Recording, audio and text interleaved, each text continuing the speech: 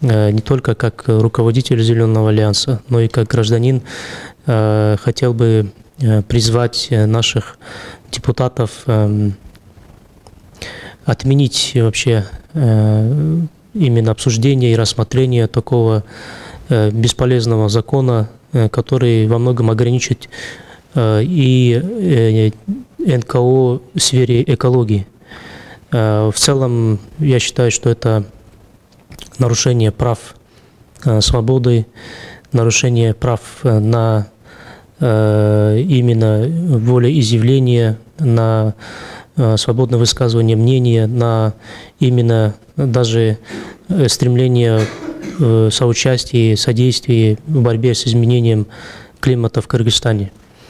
Если этот закон будет принят, он э, нанесет э, существенный урон и удар по, по всем некоммерческим организациям, в том числе экологическим.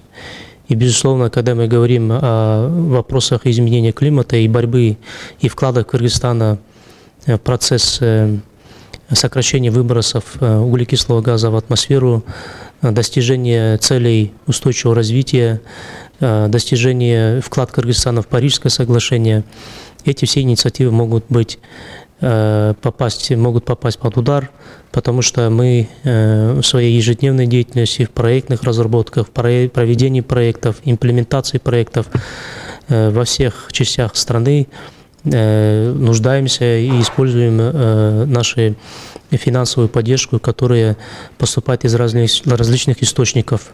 Это и на, в основном, конечно, это наши международные партнеры по развитию.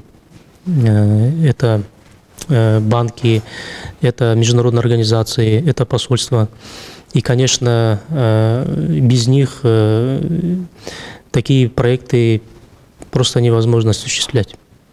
К сожалению, государство, на мой взгляд, не может уделять постоянно внимание в силу различных факторов